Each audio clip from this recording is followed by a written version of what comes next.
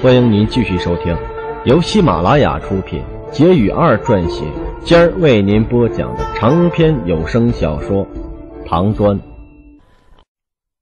第九百零四节。云烨翻了一个白眼，说：“你师傅已经成了一个大烟鬼，你试着要你师傅断绝供应两天来看看，那他就立刻会从神仙跌入到地狱里去。”万蚁钻身的痛苦不是任何人都能够忍受的。四子就是一个糊涂蛋，从小到大呀一直都是这样。还好啊，自己今天发现了这东西，要不然会疑惑无穷的呀。这东西不能种，不能采集，必须全部销毁。你明天带我的手书回去给你师傅，要他立刻禁绝这东西，否则。我不惜动用河洛的官兵，将你师傅擒拿回来，毁掉所有的极乐草。如果他实在禁绝不掉，你就把他送到长安来，放在皇宫，按时按点的给他供应极乐草就是了。私人绝对不允许栽种，别的要我最多要命，这东西要的是人的尊严。李承前叼着烟卷，附和着点点头。这东西的厉害，他当年呢可是亲眼所见的。都水监也拿这东西做过几次实验，好些个倔强的囚犯，因为这东西啊，就变成了绕指柔了。云烨说：“这东西啊，要的是人的尊严，半点不假。”帝王死亡的时候啊，一般都是狂暴的，拥有至高无上的权力，使得他做事不必有任何的顾虑。我死之后。哪管他洪水滔天的帝王，那又不是一个两个。所以云烨现在要做的就是安慰好皇帝，啊，不要让他心中生出怨愤来。标记大将军的名号啊，太大了，拥有这个身份的人好多都是叛贼，比如王莽。云烨在接受这道旨意之后，就带着全家搬到了长安的兴化坊。云家在玉山的封地。那只是作为别业存在。长安留守如果都不住到长安，谁敢放心的住到长安城啊？李承乾到底将自己的皇位禅位给了十一岁的李觉。当李承乾把李觉领到皇位上坐下的那一刻起，李承乾的泰兴统治结束了。紧接着出现的就是乾元一年，无数的文人在赞颂李承乾的行为。大唐连续三代皇帝的位置都是通过禅位来完成的，这样呢，就给天下人一个强烈的暗示，那就是大唐的皇位替换将不再流血，只要再延续两代的时间，不管是皇族还是天下人都会慢慢的习惯这样的皇位交替方式。平和，这是李承乾给大唐百姓最好的礼物。李珏登基的第一天，李承乾呢就手把手教会他写赦免文书。于是呢，那些贬斥的臣子还没有到达自己的目的地，又被八百里加急给召唤回来了。李义府根本就没有离开长安城，托病赖了两个月之后啊，在接到赦免文书，感激涕零的拜倒在李珏的脚下，声泪俱下的发誓要为大唐贡献自己的生命，云云。张建之也回来了，看不惯李义府做作的态度，指斥李义府故作姿态，结果被李义府从祖宗八代驳斥到了后世子孙。如果不是狄仁杰出面呢，他们的战争还不知道会进行到几时呢。张建之在朝堂上比不过李义府，现在变得性如烈火的他呀，立刻就在底报上撰文，名曰“佞臣”，洋洋洒洒的万言，将李义府的过往。接了一个底儿掉啊，连他逼迫一个可怜的妓女无休止的接客这种隐秘都暴露在光天化日之下了。一时间，人猫立马就变成了大茶壶。结果呢，很自然，这两个人呢就成了死敌。李傕下令，他们一个担任西府的台官，一个成了东阁的大佬。从此以后啊，大唐的新政令想要出台就变得极为艰难了。云烨、长孙冲现在呀，经常出现在朝堂上，不过他们一言不发，坐在各自的椅子上闭目养神。不管底下争吵成什么样子，他们依旧嫣然不动。两个人的心思都不在朝堂上，而是把所有的注意力全部放在后宫里，随时随地准备迎接皇帝龙御并天的消息。李承前瘦成了一把骨头，长孙坐在他的床前，轻轻的抚摸着他的面颊。自己的儿子到底走到了寿数的尽头。母后啊，孩儿不成了，不能给你送终。是孩儿此生最大的不孝，不过也幸好啊，您还在世，有您在，云逸和长孙冲他们就不会胡来。有他们在呀，独孤谋就啊一动都不敢动。这或许是苍天对孩儿最后的一点怜悯。十年时间呐，太漫长了。只希望母亲能够帮着孩儿看管好他们两个人，不管他们哪一个起了异心，对大唐来说都是一个灾难这这不是最好的法子，但是孩儿无计可施啊！长孙擦掉李承前额头上的汗珠，用沙哑的声音说：“无妨，云烨是个没野心的。”这一点呢，不管是你父皇还是母后啊，都认同的。还记得你父皇病天的那一天吗？云烨在第一时间放弃了玉山的城防，放的干脆利落，半点都不眷恋。这就说明，担任玉山城的主将对他来说不是什么运气，而是一种负担。十年的时间后，娟儿也该二十二岁了。到了那个时候啊，他就能自己做主了。从这些天的表现来看，他依然是我大唐的一位英主。你把玄甲军全数调回长安，这是对的。人心最难揣测，哪怕万无一失，皇家也需要具备后手的力量，不是针对某一个人，而是为了国家的延续，必须有的一种手段。你活得太累了，早知道如此啊，我当初就不该把你送到皇位上。是皇位毁了你的感情，毁了你的身体，也毁了你的友情。你失去的太多了。李承前面色潮红，坚决的摇摇头说道：“孩儿不后悔，成为万乘之尊，是孩儿从小的梦想。”我最喜欢的事情，就是带着十万铁骑在草原上呼啸纵横。我的祖先是这样干的，孩儿也想这样干。我是狼的子孙，我的命运注定了会是一生的奔忙和厮杀。不管是用牙齿咬，还是爪子撕，那都是本能啊！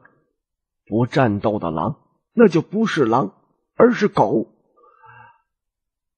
长孙喘息了一声，手掌轻轻的拂过李承前的双眼，希望他能闭上眼睛，小声说：“你太累了，好好的睡一觉，明天呢就会感觉舒坦一点。”李承前很听话的闭上眼睛，又忽然睁开眼睛对母亲说：“孩儿一旦睡过去，请母亲好好的教导李觉。”如果李相有什么异动，命云烨用最快的速度击杀。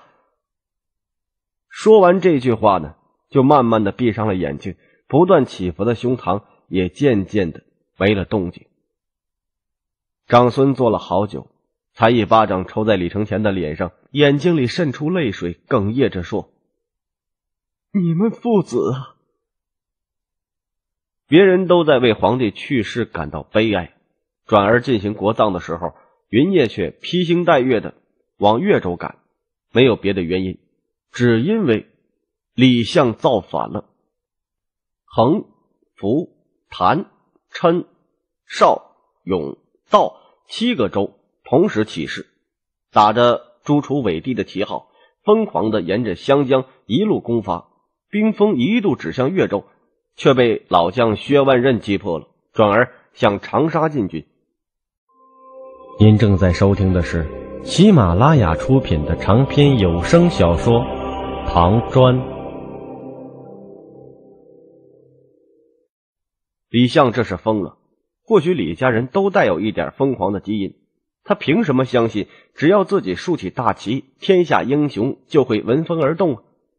天下承平已久，盛世也整整开始了两代人，哪里有什么英雄人物出现呢？乱世才会出英雄，谁会抛下家业跟着他打生打死的？他又不是神仙。云烨相信，只要自己到达衡阳，李相裹挟的军队就会立刻星散。他这是在找死啊！所以云烨。去越州就带了三千玄甲军，对付一个李相还用不着大动干戈。到了越州，用自己的虎符调动了越州周边的十三府的军队，在越州都督薛万彻的配合下，一刻不停的向衡阳进发。李相没有打得过薛万彻，却把自己治下的民众祸害的很惨，一路上死尸遍地，处处废墟。治下侥幸躲过兵灾的百姓跪在云烨的马前，希望王师能够为他们复仇。李相手下这些人已经不是什么造反了，而是变成了流寇，烧杀抢夺无恶不作。据说李相把这样的行为称之为报复，报复自己治下的百姓不肯追随自己造反。转到去进攻长沙的军队也被当地的守军打败，只好再一次回到衡阳。谭、琛、邵、永、道五个州府呢，也逐渐被周边的军队一一收复。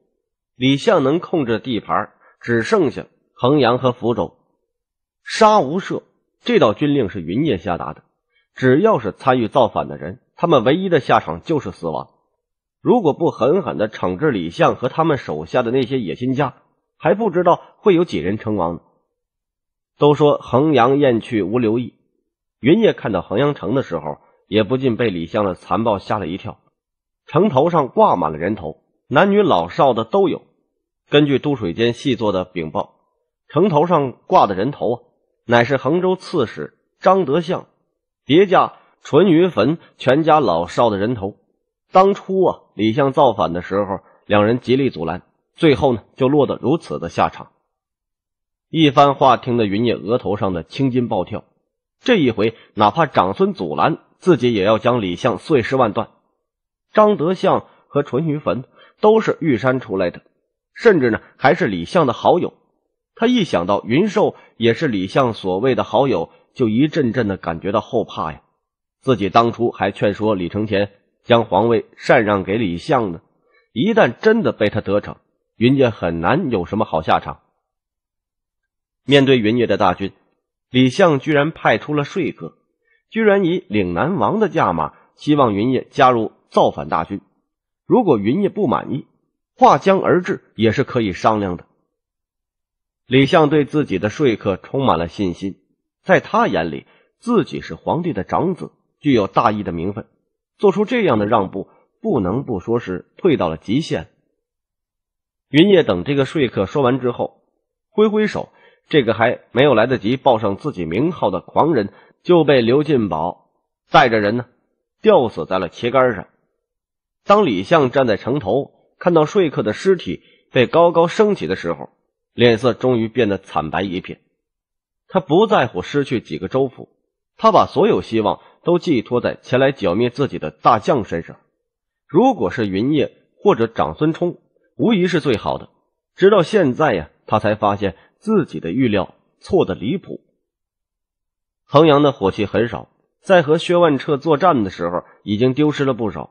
如今的衡阳城头啊，可用的火器只有很少的一点再看看城下那些军队的火器，李相不以为自己啊还有任何的活路。沉默了好久，才下令打开城门出城投降。他自信奶奶不会就这样杀了自己，了不起。就像十六王一样被禁足了事。云烨在衡阳外挖了好大的一个坑，只要是确定参与了叛乱的，全部捅了一刀之后就扔进大坑里。这一切都是当着李相的面进行的。当呕吐的已经天昏地暗的李相发现最后自己也被军士抬起来扔进大坑里的时候，终于觉得自己好像有一件事儿没有猜对。在把李相弄进大坑之前，段宏带着长孙的信函过来，一个不认识的太监也带着小皇帝李傕的旨意，匆匆的赶了过来。不用说呀，都是为李相求情的。李相在大坑里不断的祈求、哀嚎、恳请云烨先看看皇后的书信，看看弟弟的旨意，然后再处理自己，并且痛哭流涕的表示自己啊一定能够改过。云烨的脸就像冰块一样寒冷，坐在大帐前的椅子上一言不发，强大的气场让段宏几次想要说话，又闭上了嘴巴。另外一个太监呢，就更加的不堪了，躲在段宏的身后，根本就不敢看面前的这场惨剧。活埋人呢，这一招是李二亲自教云烨的。当年在高丽，云烨和李承前呕吐的天昏地暗，那个时候，云烨认为这是一种极度残忍的杀人方式，是不道德的行为。不过现在他发现呢，愤怒有时候一定会遮蔽人的理智的。为了大唐以后再不出现这样的恶事，云烨决定用这个最残暴的法子震慑一下那些野心勃勃者。命令画师将面前的这一幕完整的画下来，从各个角度展现一下人在绝境的恐惧。他准备将这几幅画装饰在万民宫，名字就叫做《叛乱者》。李相被黄土慢慢的掩埋掉，直到最后呢，他都没有放弃告饶。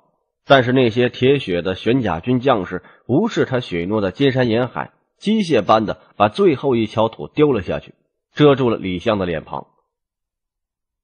战马连环的在土堆上不停的踏了一整天，直到那个土丘啊变得和大地一样平坦，云野才住手。要过画师手里的草图看了之后，就命他们必须一刻不停的作画，在段宏他们回京之前一定要完成。他需要段宏将这些画作在万民宫做一个展示。打开长孙的信函，果然如同云烨预料的那样，长孙请求云烨在可能的情况下饶李相不死。从云烨出京展现的怒火来看，长孙认为李相死定了。稚嫩的李相想要和云烨这样的名将交锋，根本就是在找死！所以写下了这封信，希望呢。可以救李相一命。云烨将长孙的信函放在一边，当着那个送信的太监的面前呢，啊，打开了李珏的旨意。这封旨意呢是李觉亲手写的，上面的字迹还非常的稚嫩，字里行间充满了对自己哥哥的同情和歉疚，认为是自己当了皇帝才导致了自己哥哥发了狂，希望先生啊不要杀自己的哥哥，让他呀能够好好的活下去。云烨看完皇帝的旨意，长叹一声，取过笔墨，亲自给李觉上奏折。长孙的信函他可以不理会，回京之后解释一番也就是了。李觉的旨意，自己必须要有一个交代，必须清楚的将自己为什么会这么干的原因，抽丝剥茧的给他说清楚、讲明白。臣云烨在万里之外顿首，衡山王李相。李觉的贴身宦官恭敬的在一边伺候云烨上书，原以为大将军的作风三言两语就能给皇帝一个交代，但是他发现云烨已经写了满满的十页纸，依旧没有住手的意思。从开篇李相造反，开启了一个恶劣的先例说起，再说到衡阳七府的惨状，好好的富庶之地被李相弄得宛如人间地狱，然后再说自己。为什么一定要用最残酷的手段处理掉李相的原因？一桩一件说的非常清楚明白。最后告诉皇帝，自己的大军在剿灭衡阳叛乱之后，皇帝就该派出大臣来抚慰衡阳的百姓，奖励在叛乱中坚贞不屈的臣子，处罚那些追随李相造反的佞臣，挑选地方贤良，从他们中间呢任命地方官吏。重新组织生产，收拢离散的流民，清剿流窜于乡野里的零星叛匪，让衡阳在最短的时间里安宁下来。臣率大军平叛，自当破之以武，凌之以威。大军过处，摧枯拉朽，当为第一。陛下当怀之以柔，视之以恩，以收拢民心为上。臣受皇家三代恩惠，尤受先帝托孤重任，不敢有半分的懈怠。遥想太宗、高宗情谊，十年之内自当为陛下前驱，荡平大唐不法事。各位听众朋友们，本集已播讲完毕，感谢您的收听。